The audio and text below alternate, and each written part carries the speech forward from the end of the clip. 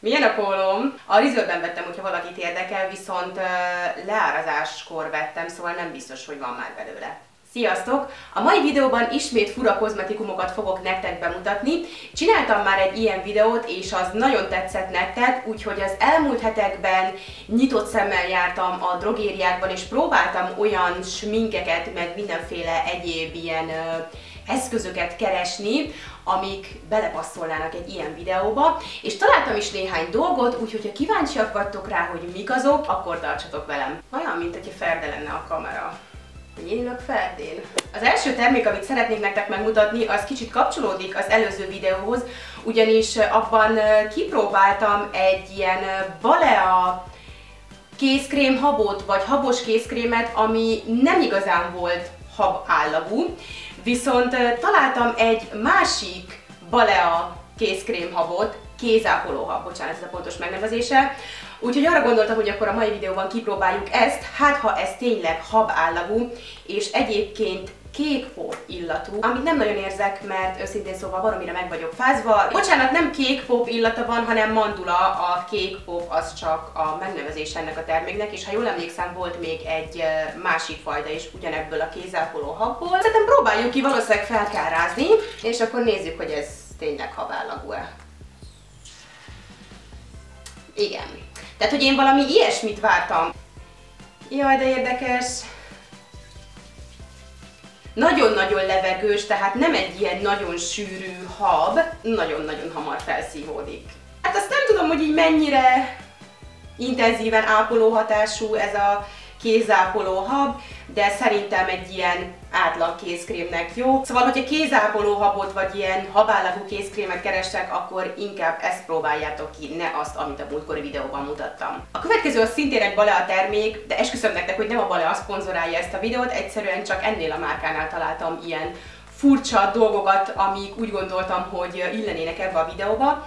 Ez egy hajápoló tej, és pont emiatt lett nekem ez fura, mert hogy emlékeim szerint nem nagyon találkoztam még ilyen megnevezésű hajápoló termékkel. Utólag láttam, hogy ez egy szilikonmentes termék, ami végül is nem is baj, mert lehet, hogyha a boltban meglátom, hogy ebben nincsen szilikon, akkor nem vettem volna meg, mert nekem eddig nincsenek túl jó tapasztalataim a szilikonmentes termékekkel, de végül örülök, hogy megvettem, ugyanis nagyon-nagyon bevált, ezt úgy kell használni, hogy hajmosás után egyenletesen be kell masszírozni a nedves hajba és fejbőrbe és nem kell kiöblíteni. Én a fejbőrömbe nem mertem belemasszírozni, én inkább csak így a, a hajamnak az alsó kétharmadába masszíroztam ezt be. Nem akartam, hogy esetleg elnehezítse a hajtöveket, nagyon puha lett tőle a hajam, szóval tényleg nagyon jól működik, úgyhogy akinek száraz és igénybe vett haja van, annak tényleg tudom ezt ajánlani, mert szerintem baromi jó. Nagyon sejmes lett tőle a hajam, puha, könnyen fésülhető, fényes,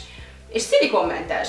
Úgyhogy tényleg egy rossz szavam nincs erre a termékre, és nagyon finom illata van, nem kókuszillatnak mondanám, inkább valamilyen kókuszos süti, de nagyon kellemes nekem, nagyon tetszett az illata is, úgyhogy ez egy szuper kis termékje, és körülbelül 600 forintba került talán, szóval árval is nagyon jó.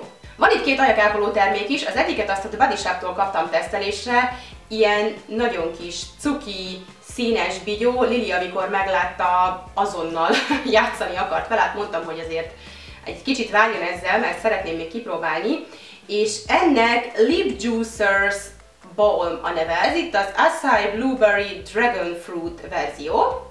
Hogyha letekerjük a kupakot, akkor így néz ki. Ilyen trópusi gyümölcsös illata van. Nagyon kellemes egyébként. És akkor ki is próbálom itt a kézfejemen először. Láthatjátok, hogy van neki színe, de nem olyan túlzottan erős valóban egy ilyen színezett ajakápoló tulajdonképpen. És ezt most szerintem ki fogom próbálni az ajvaimon is, hiszen mégiscsak egy ajakra való termék. Na nézzük!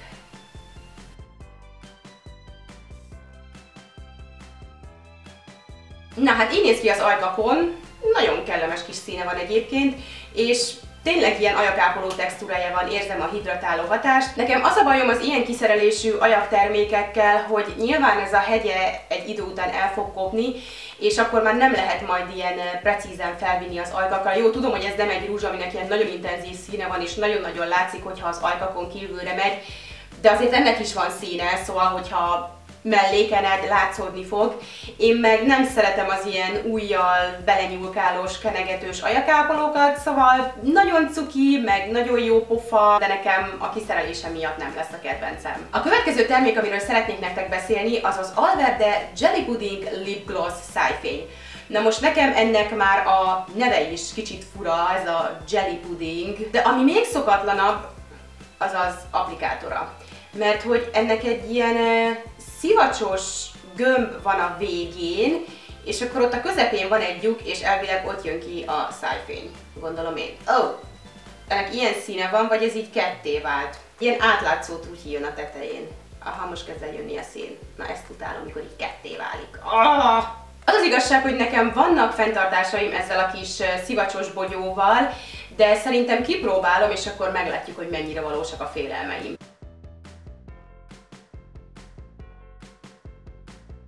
Nos, így néz ki az ajkakon, ez egyébként a 20-as Nude Candy árnyalat, inkább fényt és csillogást ad az ajkaknak, bár kétségkívül szépen mutat, ezt mondjuk el tudom képzelni akár egy másik rúzsra rákenve.